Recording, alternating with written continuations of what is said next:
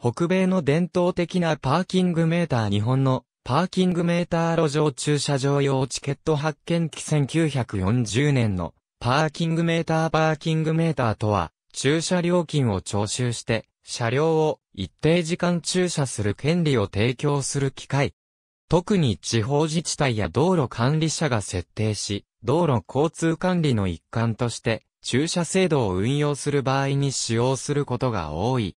パーキングメーターは1935年にアメリカ合衆国オクラホマシティでカール・マジーによって発明された。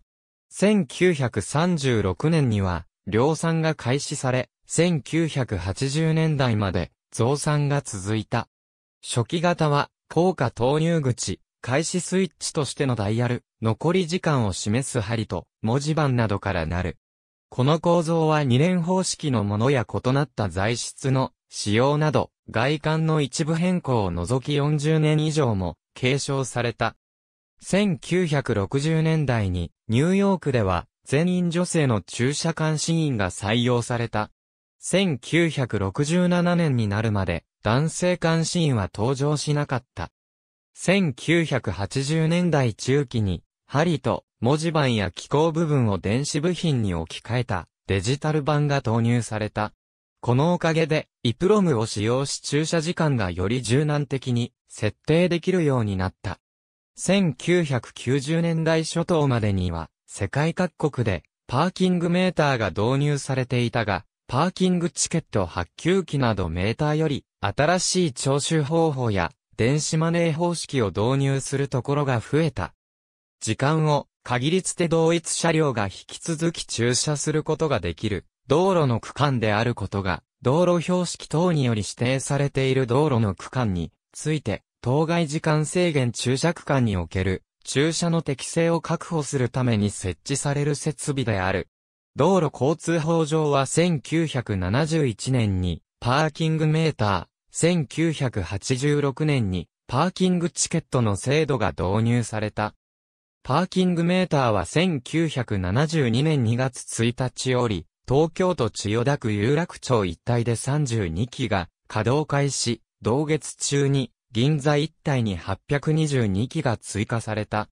当時の料金は40分まで100円。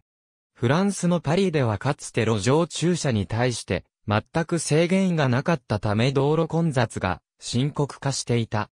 そのため、都市中心部での自動車の利用を整理することが必要となった。そこで、幹線道路では地下に路外駐車場を整備するとともに、外側車線にバスレーンや自転車道を整備し、非幹線道路にはパーキングメーターを設置する交通政策が取られている。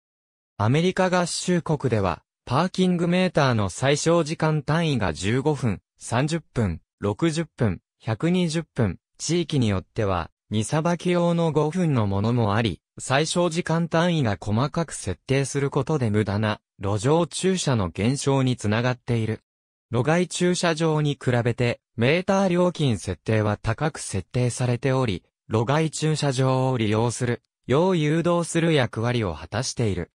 Chan、Sewell、New York Retires Last、Mechanical Parking Meter、The、New York Times、December 20、2006、Inglewood ウェブサイト、 News Details、ハット Park-O-Meter、ハット Doherty。Conor、The Parking Fix、The Wall Street Journal ハット ABC 田中真二、桑原正夫。路上駐車に関連する諸制度についての一考察。土木学会。2021年3月2日閲覧。